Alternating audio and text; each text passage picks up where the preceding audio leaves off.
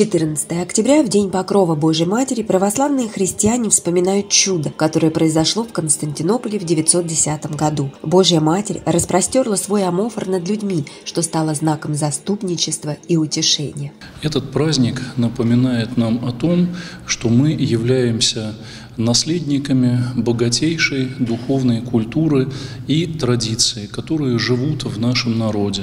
Это празднование, прославление Пресвятой Богородицы напоминает нам, что мы должны стремиться к единству. Мы должны быть едины в стремлении построить нашу жизнь, жизнь наших детей на разумных, добрых и по-настоящему духовных началах.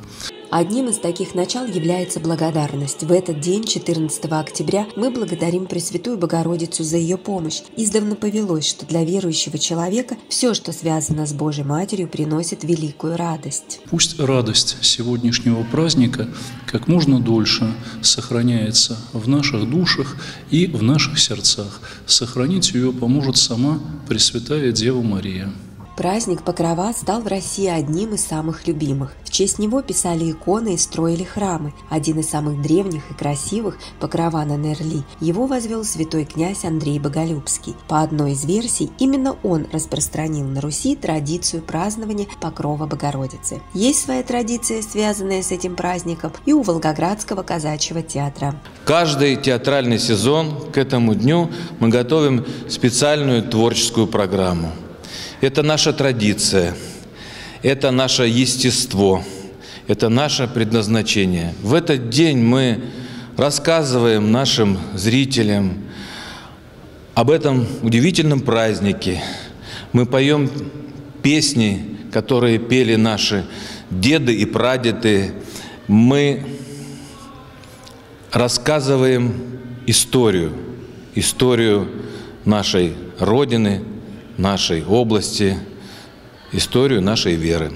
Торжественное празднование Покрова Божьей Матери в стенах театра началось с проповеди протеерея Алексея Кузнецова. Он напомнил зрителям, что Богородица в каждом человеке ищет неповрежденное духовное начало и ждет от нас, что мы, как и она, будем стремиться к праведной жизни.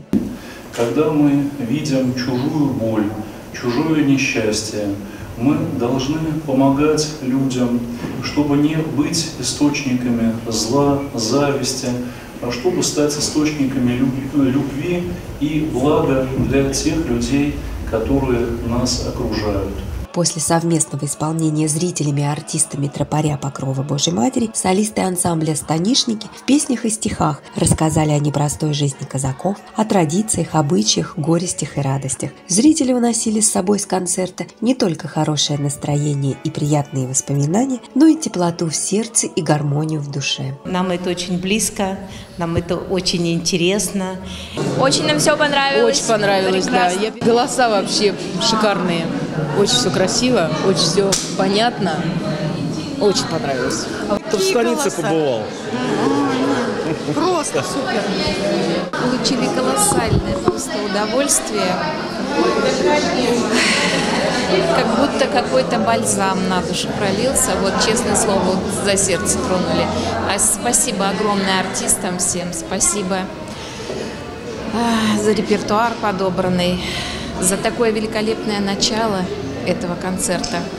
Просто да. тронуты до глубины души. прям Вырученные за концерт деньги администрация театра направит на помощь военнослужащим и добровольцам, принимающим участие в специальной военной операции. Марина Романова, Мария Мандрыкина, телеканал «Волгоград-1».